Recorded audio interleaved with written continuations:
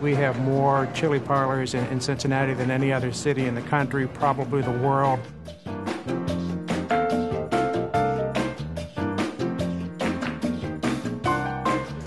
Think that you can say Chicago pizza or you can say Philly cheesesteak and still get something that's almost the exact same in any other city. But Cincinnati chili, it's really not necessarily that easy to get in other cities. It's very regional, it's unique to Cincinnati. I think Cincinnati owns it, it's one of its main attributes. But chili in Cincinnati is unlike anywhere else. Not everybody's familiar with it, and at first, you know, they're just they're not sure when they look at it. But af- after we have them sit down and they eat away, or a cheese coney, we have them hooked. It seems like when they go out of town, they've got to come back for more. A lot of our new customers think, oh, bowl of chili is going to be great. And it is great, but it's not necessarily how it's designed. So the spice profile works really well over pasta or works really well with a hot dog. A lot of people find it odd that we're putting chili on spaghetti, but it, uh, once you've tasted it, uh, it really is addictive, and, and the taste palate really grows on you. You can get a three-way, a four-way, or a five-way. A three-way is just pasta, chili, shredded cheddar cheese. Four-way is spaghetti, chili, cheese, and either onion or beans. And a five-way is chili, spaghetti, beans, onions, and cheese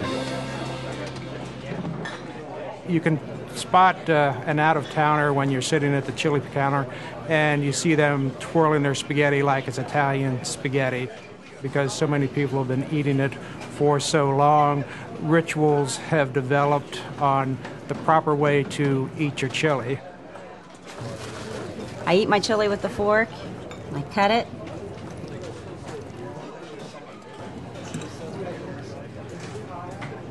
And swallow. The coney is a small hot dog, so it's unique, fits in your hand. We have people who write us and give us all the reasons on how they eat a coney. They eat it with their right hand, they twist it, they it's very ritual food as well. Another ritual is, is what we call the cracker bomb or the, the chili parlor appetizer. Uh, one of the signature things in a chili parlor are oyster crackers uh, and hot sauce. So when people are waiting for their main order, they'll have a chili appetizer by poking a little hole in their oyster cracker, filling it with hot sauce, and, and eating that, uh, that chili bomb appetizer. And while you might find consistency in the way chili is served, it's the differences from parlor to parlor that make this dish a hot topic in the Queen City.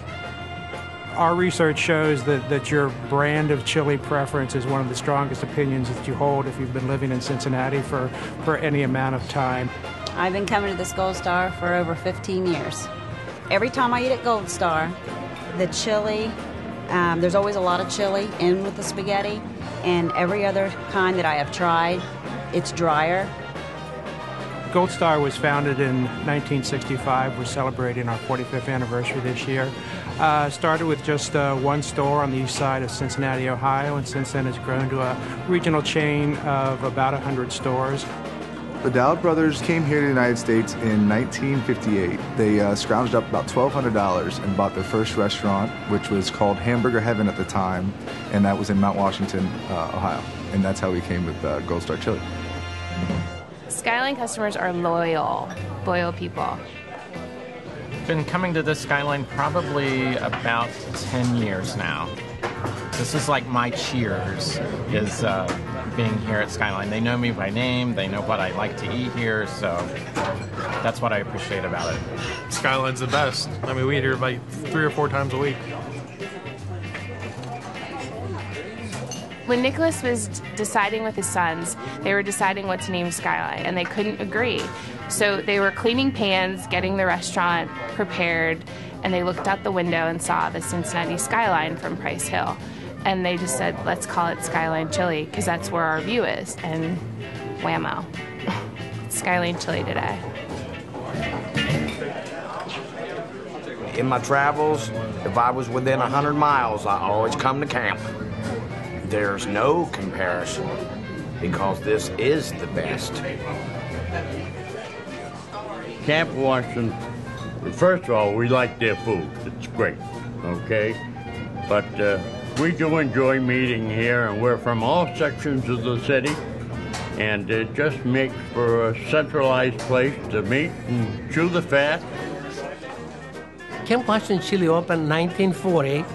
It was my uncle and his friend, and uh, I came from Greece. Was uh, April 6, 1951, and I worked for them. And this is the only place I work all my life. So this year I'm, I'm going to be here 59 years. Well, we have a lot of customers for years, you know, coming here. You know, they keep telling me every time they come, the chili is consistent, the same. Well, I cannot tell you the secrets, you know, but since 1977, I changed it eh, quite a bit, you know. So I put more spices. we make every day about close to 60 gallons. This is ready to go.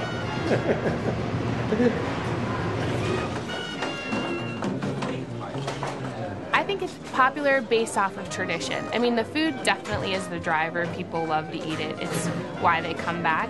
But it's also experience when they're eating it. There's a lot of bonding time there, and I think so when you grow up with all those traditions and experiences, it's it's just a very comfortable. That's where I'm going to go to feel good kind of place. Eating chili is truly one of the defining characteristics of living in Greater Cincinnati.